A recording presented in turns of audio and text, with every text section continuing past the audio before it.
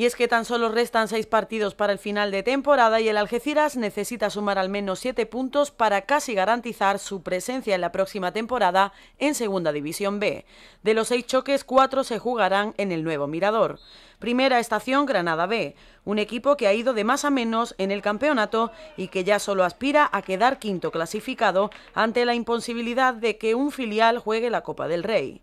Guti espera que este partido sirva de punto de inflexión para afrontar el resto de encuentros con una mejor clasificación. Ahora mismo lo único que toca es, unirse, unirse directiva, medio, eh, público, plantilla, cuerpo técnico, todos los que estamos aquí cerca del club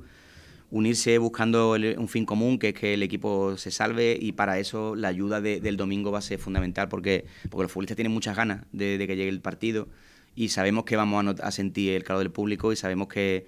va a ser un empujoncito lo que nos va a dar seguro. Entonces yo creo que yo soy muy optimista en ese sentido, creo que, la gente va a, estar, va a estar con el equipo, va a estar desde el principio, va, va a ser capaz de, que los fallidos que ocurran, pues intentar que, se noten menos con, con su ayuda y, nos queda eso, no nos queda otra cosa. Yo creo que saldríamos ganando todos si el equipo se salva y si la afición de verdad está con el, con el equipo, pues